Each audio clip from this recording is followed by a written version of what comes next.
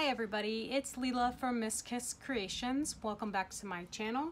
Today I am going to show you how to do a fully glittered tumbler using Mod Podge. So we are going, going to do a fully glittered tumbler uh, with the Mod Podge method. I'm going to first go over the materials needed, which are laid out in front of me. Uh, you might not be able to see everyone, but I'll go over each and every one of them for you. You're going to use uh, Mod Podge. Today I'm using the orange Mod Podge, the gloss Mod Podge. I've also used the dishwasher safe that comes in the light blue bottle. You can also use that as well. Um, it does not make a difference since you are uh, going to be applying epoxy over your tumbler. You're going to need a brush. I use a sponge brush to apply my Mod Podge or you can use a Mod Podge brush. Uh, optional Dixie cups. This is just to hold your glitter. If you do have too much glitter, you'll see that in the video. Um, you're to need spray adhesive. In the video, I am using Scotch spray adhesive, but I've also used Loctite and Elmer's, and um, I don't have any specific brand that I use. I just grab whatever's cheapest and whatever's closest on the shelf. And then you're to need some glitter. Today I'm using a, uh, a rose gold color. It's Golden Rose by Glitter Heart Company. And you're to need um, a stainless steel tumbler. Obviously, I am using a Hogg brand. It is a modern curve. I get all of my stainless steel tumblers. Um, these from the stainlesssteeldepot.com. And you're going to want to spray paint your tumbler. So I spray painted my tumbler a paint color, and it is the Krylon um, color. It's satin ballet slipper. I do recommend you spray paint your tumbler um, at least white if I didn't have a paint color to match this glitter, I would have just spray painted it white. But if you do have a color that matches your um, glitter or resembles your glitter in some way, I do recommend spraying it the same color. Because if you do miss some spots on your tumbler, um, you'll see the white or you'll see the spray paint. So um, if I miss some spots or it's kind of iridescent, the, the pink will show up and it will match the, my, ro my uh, golden rose color.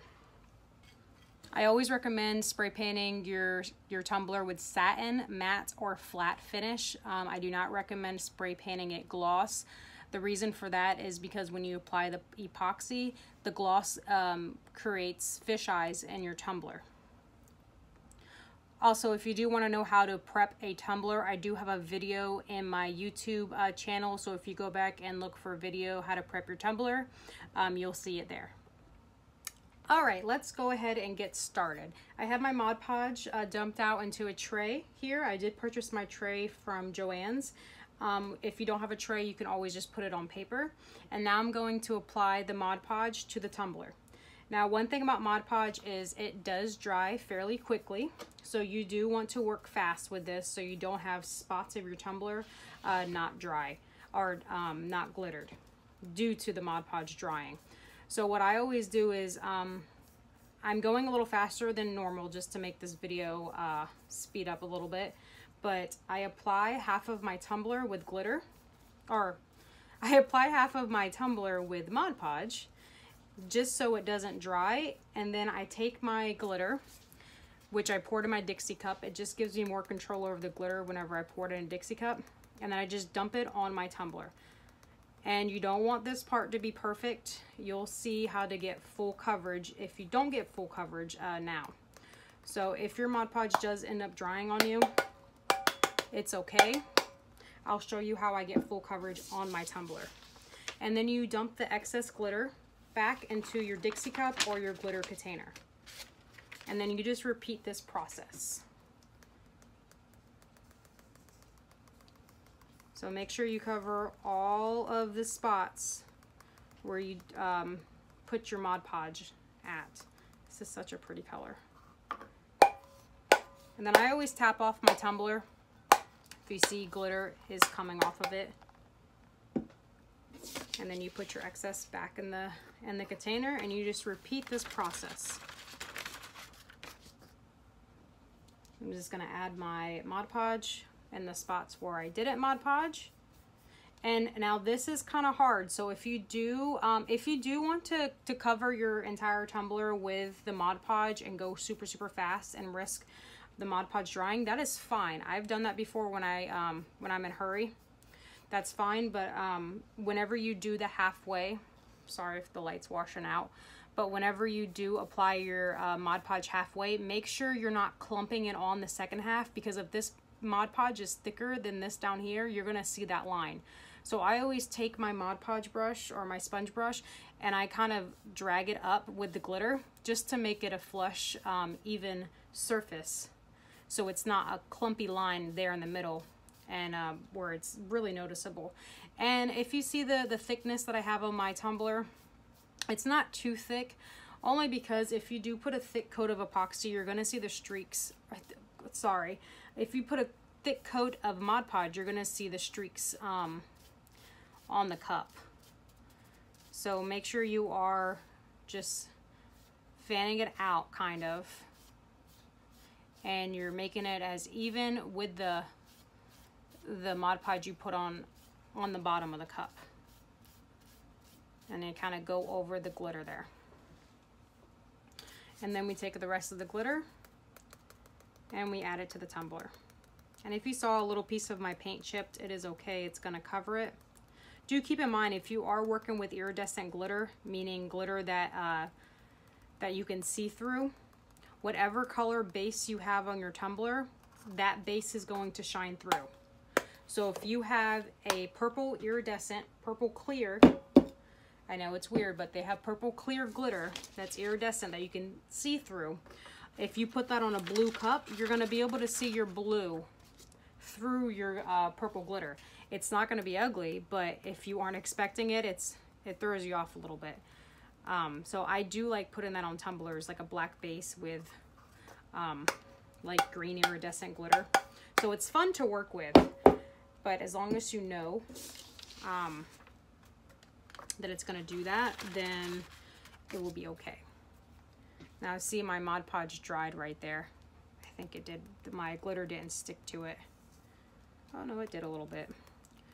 And make sure um, whenever you get closer to the edges or the top of the tumbler where you put your lips, um, you just, I go a little closer. Oh, this is a easy, easy way to apply glitter. Um, it is so simple to do these tumblers whenever a customer just wants one solid glitter tumbler. So now I'm just beating off the excess glitter and I'm going to beat it on my desk. That just helps the glitter fall off. And look at that sparkle, guys. I love this color. And then I'm going to put the excess glitter and back into the to the cup. This is just the same process over and over again. And it looks like I did get a full coverage. Now on camera, you can hardly see some bare spots on this tumbler. But there are some bare spots that I'm unhappy with and I kind of see them. So in this instance, what I do, so if you see right here, you can really see that bare spot. So some people wait until this is dried. Mod Podge dries in about 45 minutes to an hour, and then they will Mod Podge over.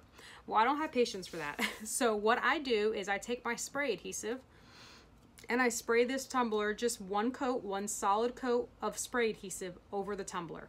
So I'm gonna go do this outside and I will be right back. I've sprayed my tumbler with my spray adhesive. As you can see, my tumbler is now uh, dull and, and it's not sparkled, which is fine. And I'm just gonna dump my glitter onto the tumbler, just repeating uh, the steps.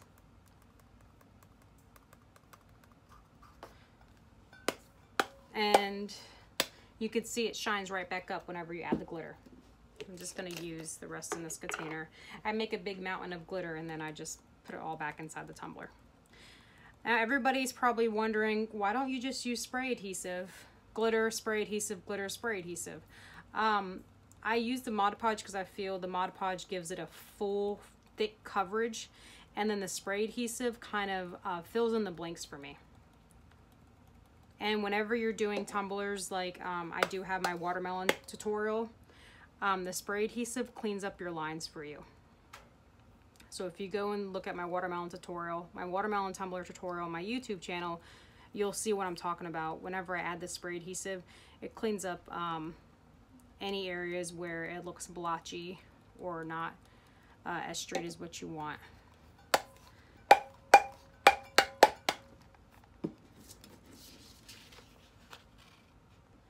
And look at the full coverage on that tumbler. Look at the shine.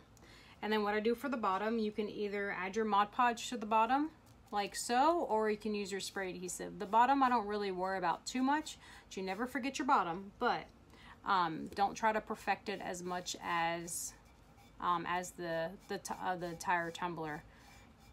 Um, I know a lot of people, they put their decals or their business logo um, on the tumbler, so just keep in mind that's going to cover up some of the bottom. And then I put the Mod Podge on, and then what I do is I focus on the edges of the tumbler. I drop the glitter right there, and then that should fall um, on the bottom. So if you see it fell on the bottom and I focused on the very bottom of the tumbler. So I focused on that right here at the edge of the tumbler. That's where I focused. And then it kind of fell. And then you just clean up the middle part. And if you want to, you can um, add spray adhesive again on the bottom. And then you can add spray adhesive on the bottom and then add more glitter. So what you're going to do next is, this is a very, very important part. So you're gonna take your Krylon Crystal Clear acrylic coating, you're gonna take this outside and you're gonna spray your tumbler all around and I give it a good three coats of my acrylic um, spray.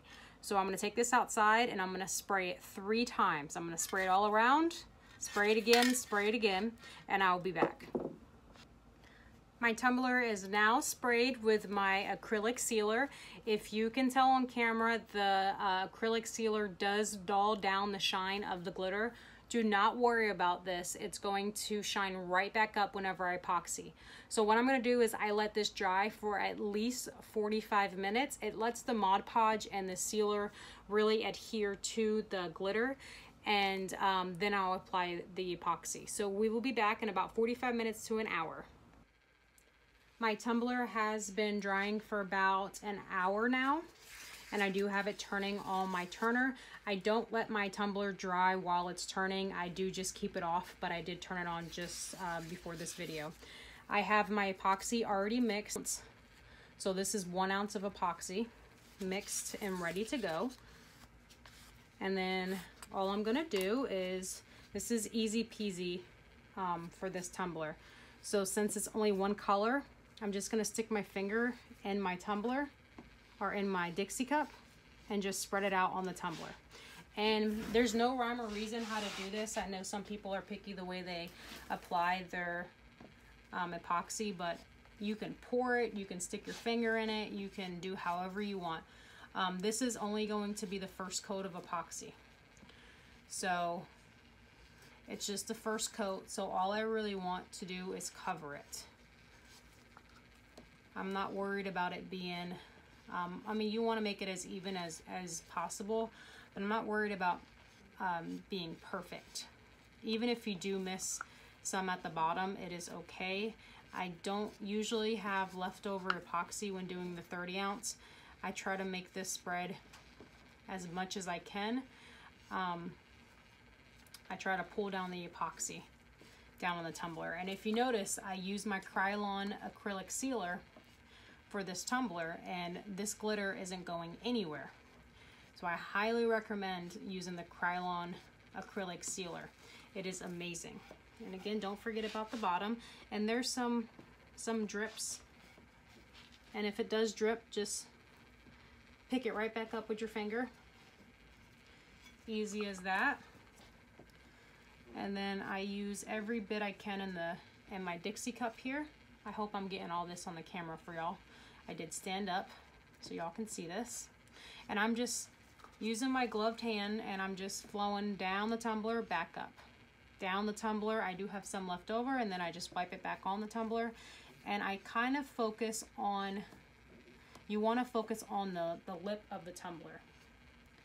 Because you, don't want to apply too much pressure because you want a, a good uh, coat on here.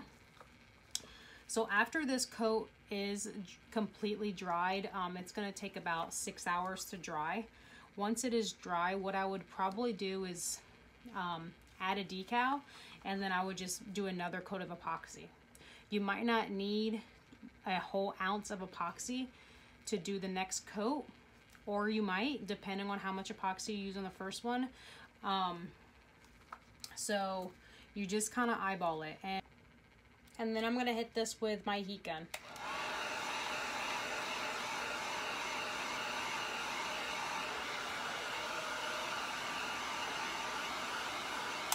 Using the heat gun, um, what it does is it pops any bubbles that's in the epoxy. And if you see, I'm going rather fast with my heat gun. If you keep your heat on one part of the epoxy, you're gonna smell a burning smell and that's your epoxy burning.